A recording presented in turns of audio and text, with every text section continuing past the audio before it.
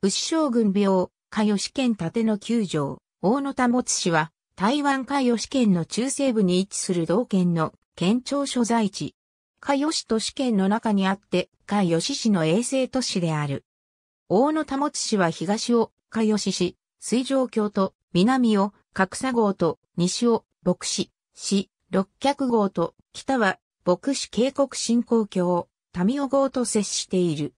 下南平原の水源灌漑地区に位置し、地勢は平坦であり、大部分の住民は製造業と農業に従事している。加吉市への通勤率は約17.5%。大野保市の旧名は未増省である。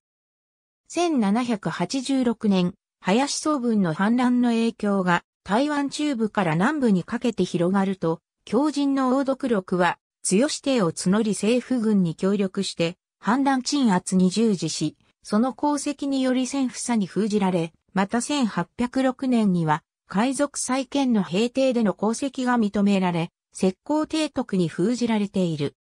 1838年、台湾に戻った王読録は、大使、大野保津が加報され、信頼を通じて最も高い官位を得た台湾人となった。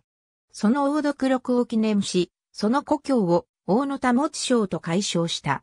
なお、王読録は1841年、アヘン戦争に際して、宝庫の守備に従事しながら病没した。生前の功績を評価した神帝により、大使大使と追贈されている。大野保号は1991年、県庁の移転に伴い県勝市に昇格し、現在に至っている。大野保市は、新加吉駅と加吉アジア芸術文化博物館の設立の後で、早く発展するところになる。加吉 BRT 台湾高速鉄道加吉駅業、両遺跡。ありがとうございます。